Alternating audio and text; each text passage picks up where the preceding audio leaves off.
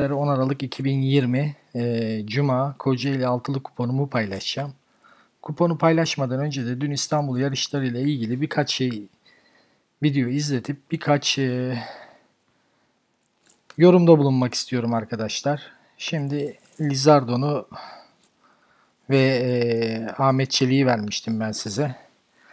Şimdi izleyelim yarışı. Emrinde start verildi. 2 numaralı Özpar 2 boy Şimdi kadar. altı numaralı Lizardon Karagül Bey'de 3 boy kadar. Bir numaralı kulvardan çıkıyor. Normalde içeriden gelen güldür güldür 4-5 almıştı. gibi gitmesi lazım arkadaşlar. Ahmet Çelik her zamanki gibi geç çıkış yaptı. Özpar 2,5 boya kadar çıkardı. 8 numaralı güldür güldür. Şimdi Lizardon arkada kaldı arkadaşlar. Normal şartlarda 4-5 gibi gitmesi lazım. Ama görüyorsunuz arkada. İçeri girip sıkışıyor. Yani birinci kulvardan çıkıyor. Normalde önlere gelebilirdi. Ama önlere gelmedi arkadaşlar. Şimdi Lizardon'u görüyorsunuz. Ahmet Çelik de arkasında. Zaten ben ikisini vermiştim size. Ama Lizardon'un 3'ün ya da 4'ün 4'ün gittiği yerde gitmesi gerekiyordu arkadaşlar. 5 numaralı Lizardon 1,5 boy kadar geride 6 numaralı Karagül Bey sırasıyla son Yani buradan gelip zaten kazanamaz. Lizardon arkadan yetiştiremez. Tamam mı? Müslüm Çelik bunu biliyor. Ona rağmen hala içeride bakın sıkışıyor. Hala dışarı çıkmıyor. Hala dışarı çıkmıyor. Hala içerlerde. Tamam. Şimdi geliyor. Ondan sonra gelip öndekileri geçmeye çalışıyor. Yani geçebilir mi? Sonra şimdi Ahmet Çelik'e bakın. Ahmet Çelik nasıl gelecek dışarıdan? Arkadaşlar ne kadar dışarıdaydı. Rahat rahat geldi. Lizardon gelebilene kadar geçemez ki. O kadar geride gitti ki sprinte geç çıktı. Şimdi Ahmet Çelik dışarıdan ne kadar rahat geldi gördünüz. Aynı Ahmet Çelik birazdan izleteceğim size. Son ataklarıyla koşuyu kazanıyor. 8 numaralı Güldür Zaten ben size 5-6 olarak vermiştim. Ama Ahmet Çelik gördünüz dışarıda kalıp dışarıdan rahatçana geldi. Ee, Müslüm Çelik içeri girdi ve sıkıştı ki zaten sıkışacağı kabak gibi belli. Kendisi de bunu biliyor arkadaşlar. Şimdi bir sonraki yarışa geçiyoruz. Aynı Müslüm Çelik Ulu Bilge ile. Şimdi Ulu Bilge ile Lizardon aynı ayarda safkanlar. Ulu Bilge'nin kazanabilmesi için 4 gibi falan gitmesi gerekiyordu. Start verildi. 4 numaralı Elit Şahı bir boy kadar geç çıktı.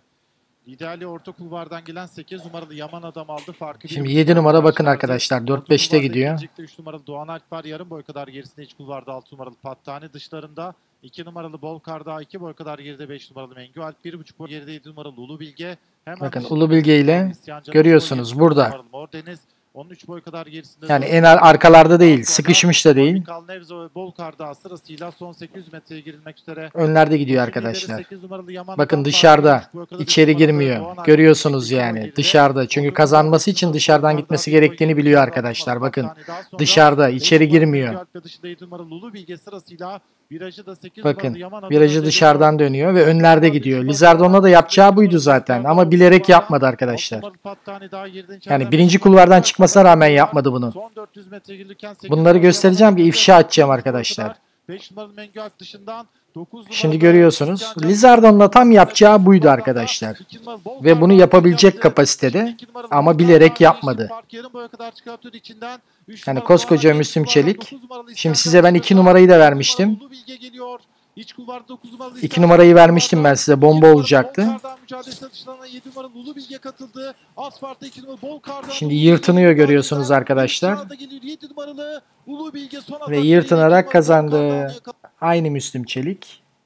Bir öncekinde e, birinci kulvardan çıkmasına rağmen e, geç kalıyor.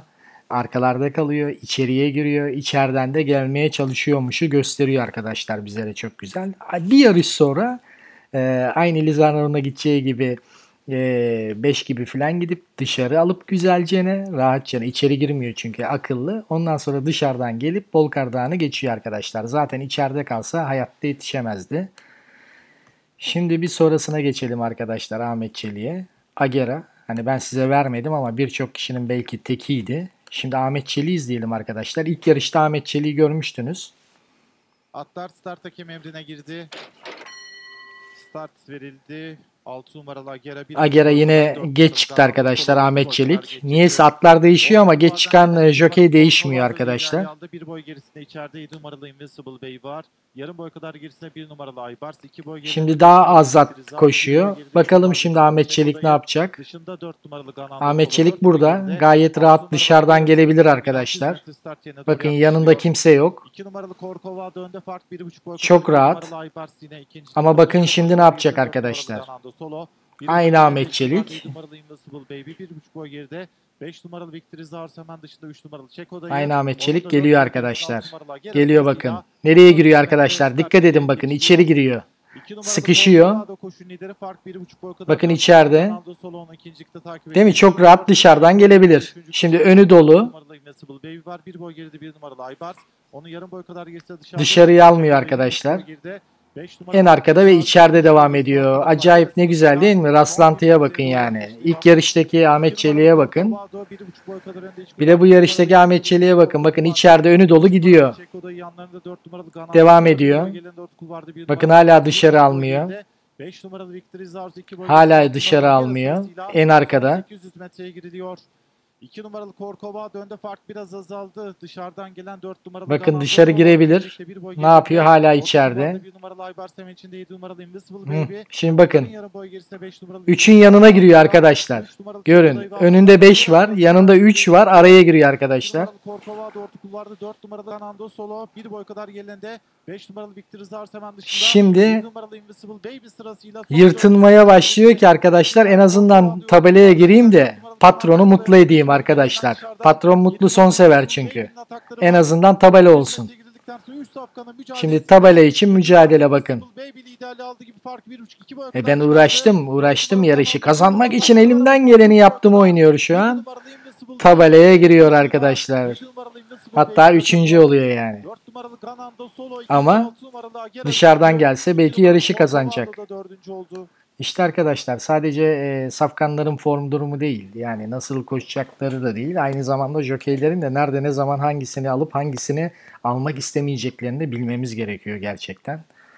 Yani takdiri kararı size bırakıyorum arkadaşlar. Bundan sonra karar aldım. E, böyle yarışları e, izledikçe ifşa edeceğim arkadaşlar. Göstereceğim. Sizler de görün. Benim de hani bu Çelik kardeşleri mesela niye hiçbir zaman gönlümde yer edinemeyeceklerini de açıklamış oldum sizlere.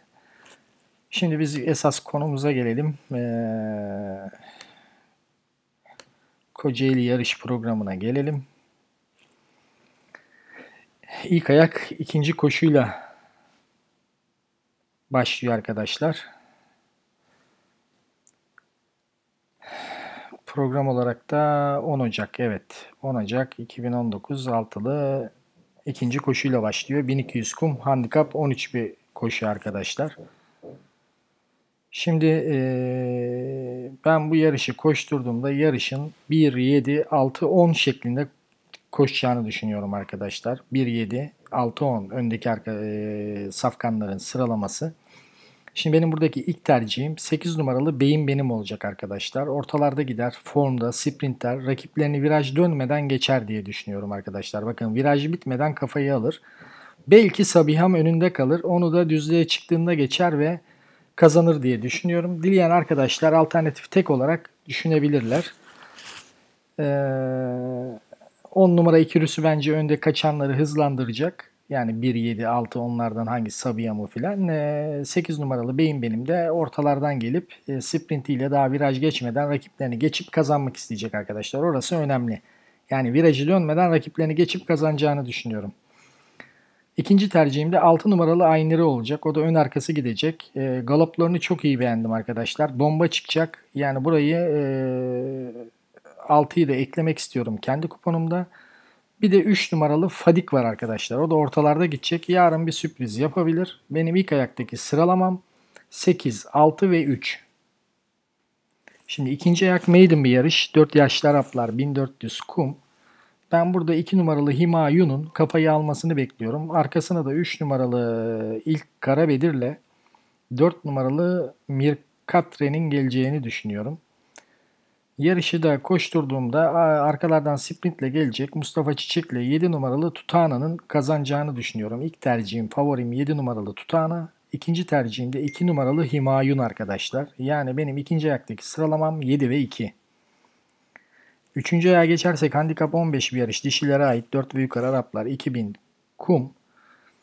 Bu yarışı koşturduğumda ben 4 numaralı Signora'nın Daniel Kaya ile kafayı almasını bekliyorum. Arkalarına da 6, 5, 8, 7, 1 gibi sıralanırlar arkadaşlar. İlk tercihim favorim 1 numaralı Isla olacak. Arkalardan gelecek Sprinter. Formda beğeniyorum. İlk tercihim 1 numaralı Isla. İkinci tercihim de 8 numaralı Nal Ezen arkadaşlar. 8 numaralı Nazelen de ön arkası gidecek. Ortalarda gider ve yarın yarışı kazanabileceğini düşünüyorum. Yani benim 3. ayaktaki sıralamam 1 ıslah 8 nalezen. 4. ayağa geçersek handikap 16 bir yarış 5 ve yukarı Araplar 1500 kum. Ben burada 1 numaralı Uzun Bey ve 2 numaralı Saygon'un önde gideceğini düşünüyorum arkadaşlar. Arkalarına da 7, 3, 4, 8, 5, 6 gibi sıralanırlar arkadaşlar.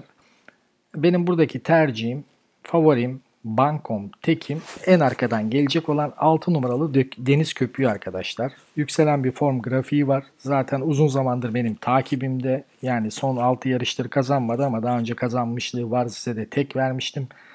Bugün yine size tek öneriyorum arkadaşlar. 6 numaralı deniz köpüğü e, benim bankom olacak. Dördüncü ayakta.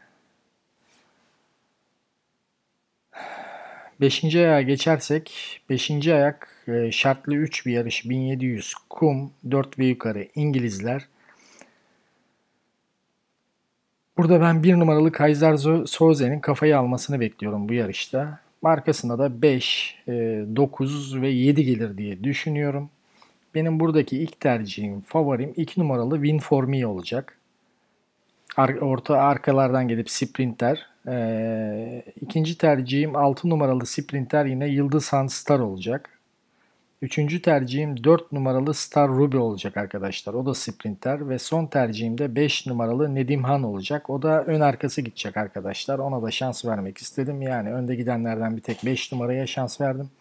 Sprinterlerden 2, 6, 4'e şans verdim. Benim 5. ayaktaki sıralamam 2, 6, 4 ve 5. Son ayağa geçersek son ayak maiden yarış 4 yaşlı Araplar 1400 kum. Burada ben e, önde 3-11 birin önde gideceğini düşünüyorum arkadaşlar Çavuş babam. Ama Çavuş babam kafayı alamazsa zaten hiç şansı yok arkadaşlar ve 10. kulvardan çıkıyor.